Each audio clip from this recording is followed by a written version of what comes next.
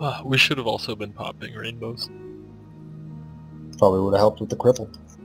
Yep, yep. Also would have helped with the brakes, though. Yep.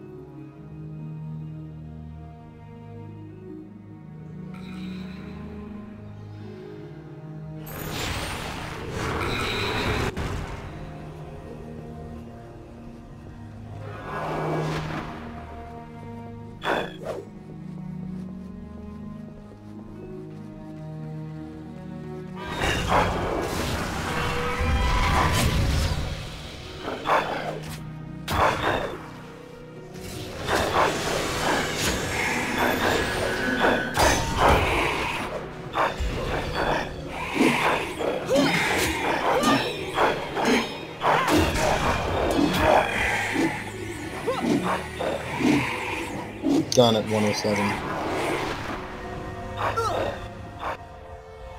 nice. You get it at like one